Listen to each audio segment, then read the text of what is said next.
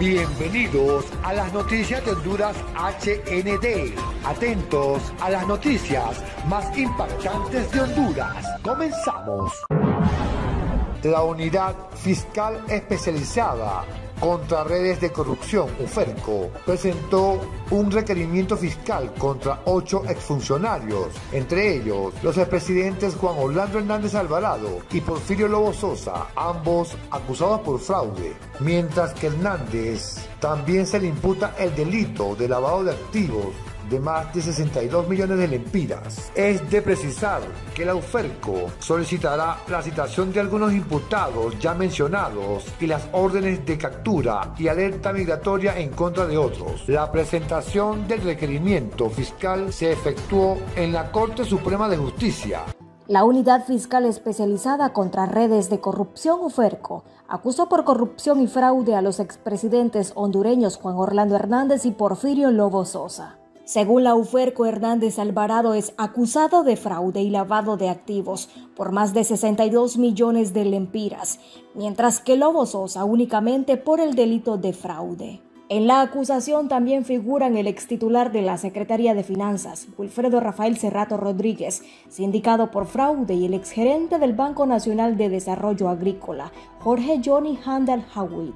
Además, los exgerentes administrativos de CEFIN, Lilia María Bográn Rivera y James Aldana Medina, el director de presupuesto Roberto Alonso Zúñiga Barahona, el exgerente financiero de Banadesa David Eduardo Ortiz Hawit, acusados por violación de los deberes de los funcionarios y fraude. Las investigaciones establecen que los altos exfuncionarios conformaron entre 2010 y 2013 una red de corrupción que participó en la ampliación y aprobación de los desembolsos de fondos públicos por más de 288 millones de lempiras. Dichos fondos, de acuerdo a la UFERCO, se autorizaron a las fundaciones Todos Somos Honduras y Divatista.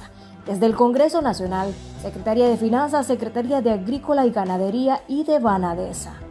Las indagaciones profundizan en el beneficio obtenido por el expresidente Hernández en los desembolsos realizados desde las instituciones públicas hacia las fundaciones, donde el exmandatario recibió para el financiamiento de su campaña política al menos 62 millones de lempiras. Uferco detalló que el exgobernante realizó diversas maniobras para llegar a los fondos. Una de ellas fue la creación de empresas fantasmas, prestanombres y contratos ficticios, dineros públicos que llegaron a los movimientos Azules Unidos y Amigos de Jo, además a la sociedad mercantil denominada La Cachureca, así como a sugerentes de campaña departamentales.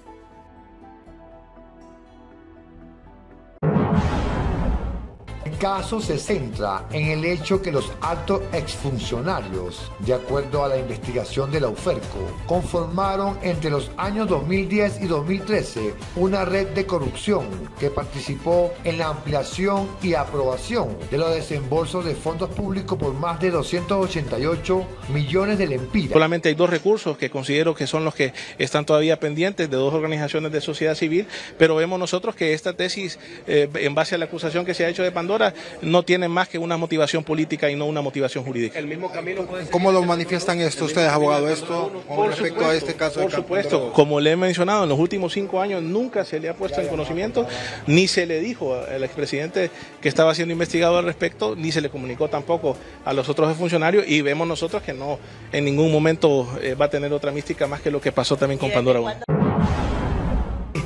es una vez más que se ha aplazado el juicio para el exmandatario hondureño que fue extraditado a Estados Unidos en abril del 2022. El juicio contra el expresidente Juan Orlando Hernández fue reprogramado para el próximo 5 de febrero de 2024. Además, se reprogramó el juicio contra el exdirector de la Policía Nacional Juan Carlos Bonilla y el exoficial Mauricio Hernández Pineda con quien el exmandatario comparecerá en conjunto, relacionada al análisis de información clasificada, obligó al juez a extender los plazos. Asimismo, cabe recordar que los fiscales del Distrito Sur de Nueva York presentaron retrasos en la entrega de información clasificada.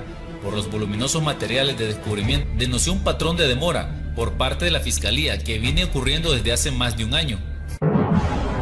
García sigue asegurando que su amado es víctima de una conspiración de narcotraficantes que de alguna manera se están cobrando el haber sido entregados a la justicia norteamericana y de ser perseguidos en el gobierno del patrón de Honduras.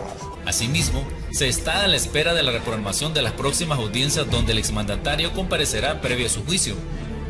El expresidente de Honduras en los periodos de 2014-2017 y 2018-2022 es acusado por la Corte del Distrito Sur de Nueva York por tres cargos. El primero es la conspiración para importar cocaína, el segundo es posesión de armas de fuego y dispositivos destructivos, y conspiración para poseer armas de fuego y dispositivos destructivos. De acuerdo a las investigaciones, el exmandatario participó en una conspiración corrupta y violenta de tráfico de drogas para facilitar la importación de toneladas de cocaína a los Estados Unidos si es encontrado culpable. Esto podría tener un impacto significativo en la política hondureña y en la percepción internacional sobre la lucha contra la corrupción y el narcotráfico en el país. Si vuelve o no será decisión del jurado. El hermano del expresidente que guarda prisión en los Estados Unidos, Juan Antonio Hernández, no testificaría por no estar disponible bajo su derecho a la quinta enmienda, por ser posiblemente incriminado en más delitos. Los fiscales del Distrito Sur de Nueva York envuelven en esta documentación a la Corte Suprema de Justicia, Fuerzas Armadas, Partido Nacional, Ministerio Público, Dirección de Lucha contra el Narcotráfico, como parte de las organizaciones que supuestamente apoyaron al expresidente. En la Corte Sur de Nueva York se espera tener más de lo previsto, ya que en la audiencia habrán nuevas evidencias e informaciones fuertes, las cuales en nada benefician al expresidente Juan Orlando Hernández. De las fiscalías federales de Estados Unidos es, un proceso muy cuesta arriba. Muy pocos logran eh, salir eh, declarados inocentes. La ley de Estados Unidos en cuanto a estos cargos que enfrenta, es sumamente difícil salir declarado inocente. Juan Orlando es inocente y volverá pronto, expresó Ana García de Hernández, ex primera dama de la nación. También en el video aseguró nuevamente que la extradición de su esposo sucedió a raíz de una campaña de odio, desinformación y mentiras. Hola, no me voy a cansar de agradecer a todos y cada uno de ustedes que nos están viendo por sus oraciones, por sus muestras de cariño y solidaridad que nos mandan todos los días por las redes sociales o en mensajes o en persona nos lo dicen. Gracias de todo corazón. Suscríbete a las noticias de Honduras HND. Déjanos tu like, déjanos tus comentarios y no te pierdas las noticias más importantes de Honduras. Nos vemos en un próximo reporte.